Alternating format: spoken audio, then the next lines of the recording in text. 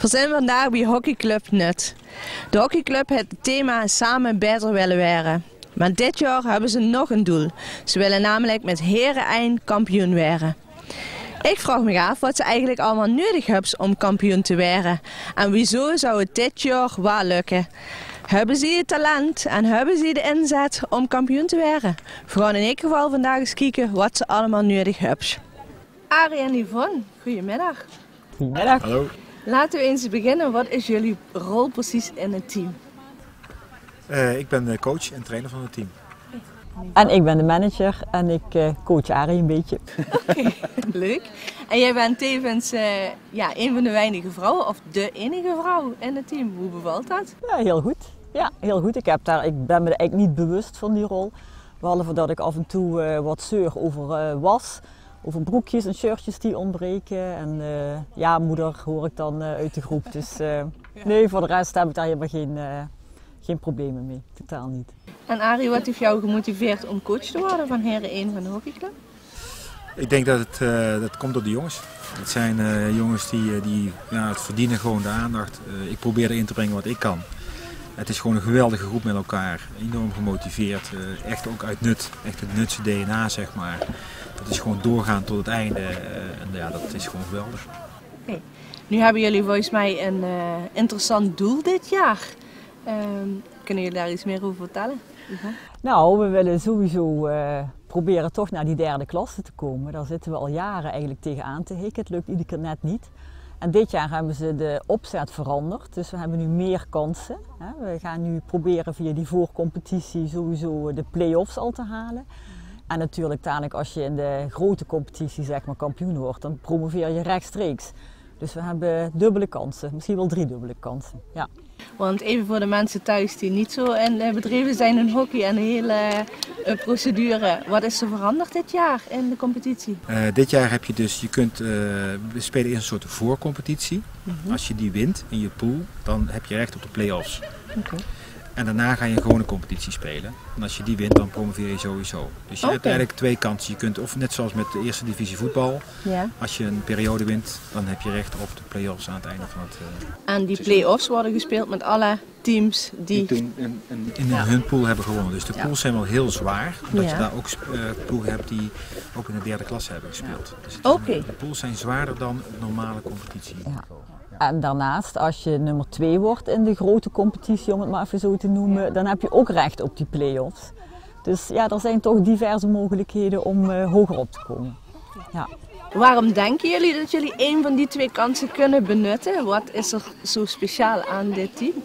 Ik zal het aan de coach vragen. Ja, ik denk dat eh, wat we zeggen, we zijn team plus. Het is, eh, we zijn echt een team. Als je kijkt uh, de manier waarop wordt getraind door die jongens, waardoor ze ook plezier hebben met, buiten het veld. Het is een hele hechte groep. Uh, en er is heel veel ambitie in de groep. Uh, we hebben geen sterren.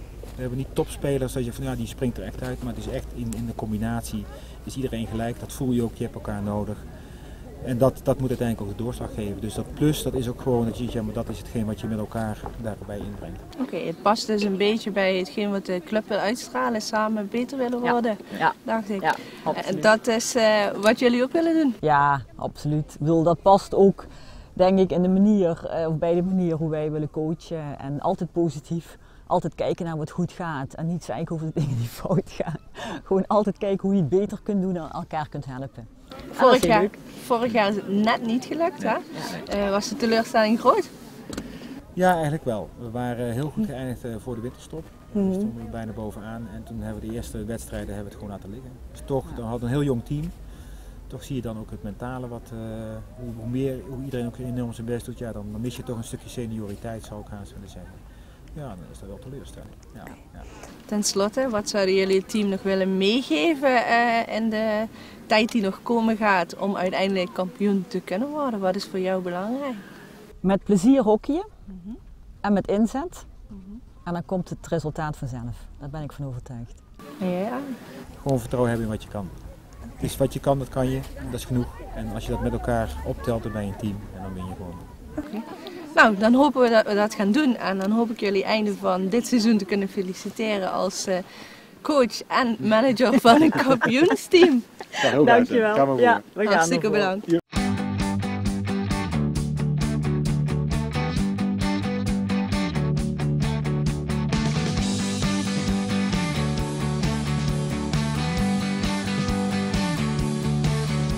Ja, ik ben Tim en ik ben elke aanvaller te slim. Ik ben Jasper, 28 jaar, centrale spits van uh, Hockeyclub Stijn, ik ben de oude Rob van het team.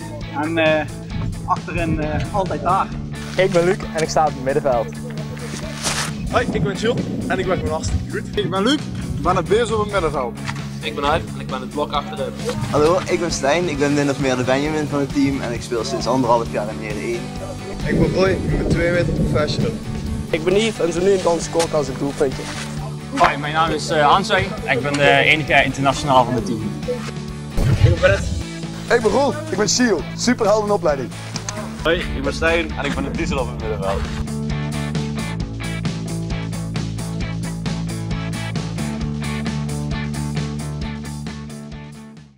Voor de mensen hier in Nut die jou nog niet kennen, wie is Ronald Brouwer?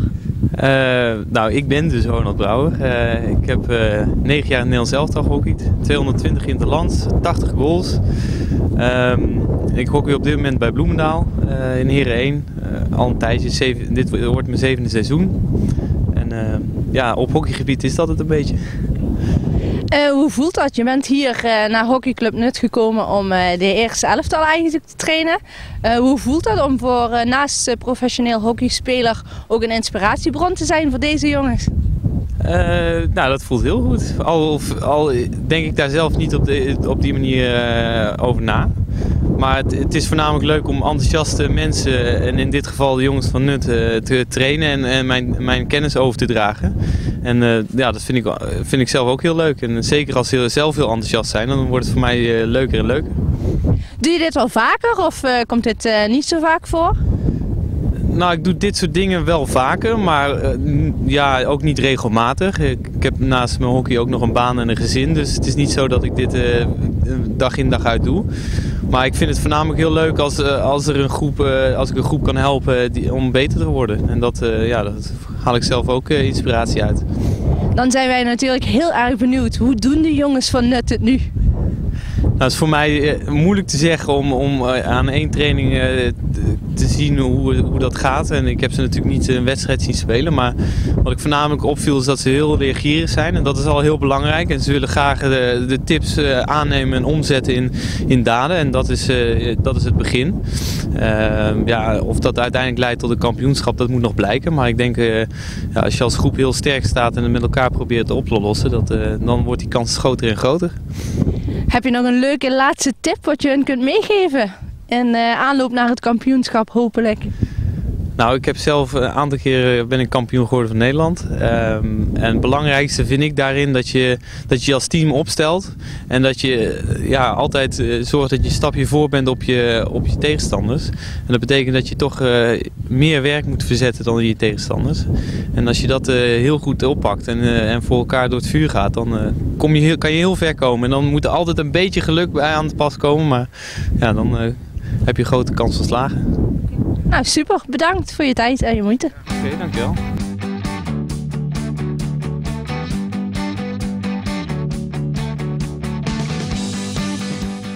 Dit is ons veld, heren.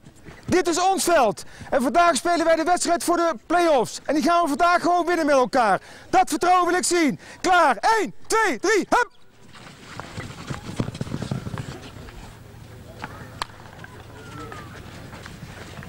En denk erom heren, ik wil uitstraling zien in de strijd met het verdedigen. Je staat er als blok. Iedereen, overal. Zorg bij die aanname, zorg dat er geen bal tegen je voetje aankomt. Zeker niet in de cirkel. Ben erbij, met elkaar. Weet dat achter je ook wordt gedekt, dat voor je wordt gedekt. Dat iedereen gewoon met elkaar als team daar staat. Ja, 1, 2, 3, hup! Kom op! En wat de score ook is, heren. Iedere keer als er iets gebeurt, blijft het 0-0. Dat moet je mentaal in je kop hebben. Blijf 0-0. Wat aardig als het aan het eind er blijkt dat je toch meer hebt gescoord dan de ander. Maar mentaal zorg dat je iedere keer op die 0-0 blijft zitten. Dat je er iedere seconde voor moet werken met elkaar. Ben nut, laat het zien. Voor je eigen publiek. 1, 2, 3, hup!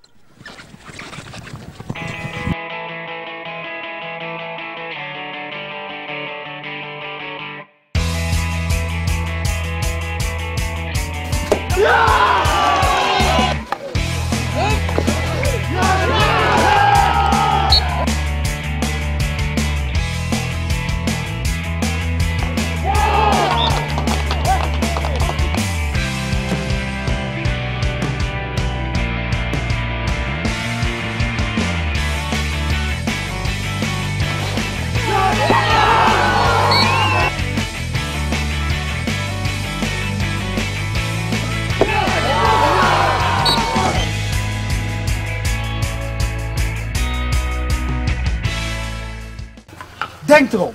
Het is nu 0-0. Zoals je de eerste 20 minuten hebt gespeeld, zo gaan we die hele tweede helft spelen. Het is 0-0. Denk erom. Belangrijk is, zoals je ziet zoals zij spelen, is op zich, is die 7, die 14, die zijn het belangrijkste. Want die zoeken ze iedere keer. Wat we nu goed doen, is dat we die middenmensen, daar moet je echt bovenop zitten. Die moeten geen ruimte krijgen. Je ziet, die bieden zich iedere keer aan. Als je daar op blijft zitten, dan, ze, dan kunnen ze nooit opendraaien. Het enige wat ze op dat moment kunnen doen, is weer terugpassen. Dus dat is prima, want daar kunnen we het ook makkelijk onderscheppen op dat moment.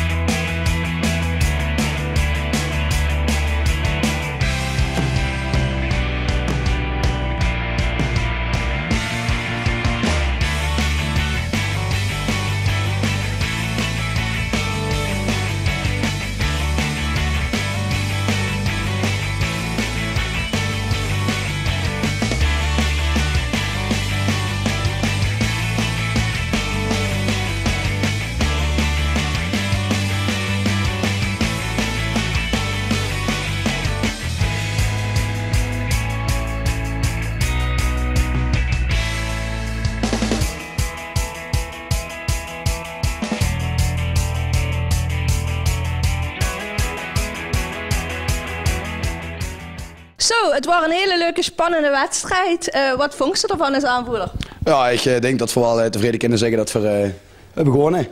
Klein beetje. En eh, ja, ik, eh, en, eh, ja, we hebben goede stappen gezet om iets te worden voor eh, de vuurcompetitie. Dus eh, ik zou zeggen top.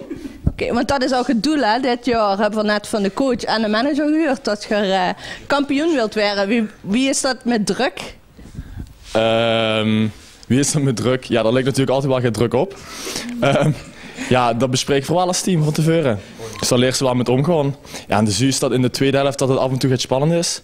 En dan zie je toch dat er foutjes gemaakt worden in de aannames en in de mandekking. Maar dan pakken ze dat team weer goed op. En dan komen ze na de wedstrijd even samen. En voor de training komen ze dat weer samen bespreken ze dat allemaal. Ja, en zo, zo groeien ze dat in als team. Waarom denk je dat je als team dit jaar kampioen zou kunnen worden? Omdat we gewoon de beste zijn. zeg je het dan met eens? Ja, ik ben het al aan met eens. Als je kijkt, nee, maar als je kijkt naar het hockey in het vermogen, zie zijn vandaag, zie worden de beste na ons, ook qua stand. En ik vind dat weer die, die gasten over keihard van het veld gaan eh, gelopen en gehockeyd gewoon. Hey, eh, en als kampioenen moest je natuurlijk wel ook een beetje kennen een feest als kampioenen. Zet dat er een beetje in, jongens?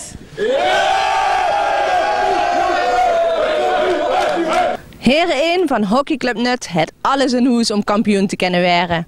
Ze hebben gewerkt met inspiratiebronnen. Ze hebben een goede manager en een goede coach. Ze kregen voor elke wedstrijd een motiverende pep talk. Ze hebben talent en zijn vooral één team. Bovendien kennen ze feest als kampioenen. Dus niks er in de weg om dit jaar kampioen te worden. Maar gaan ze dat waarmaken? Dat is natuurlijk de grote vraag.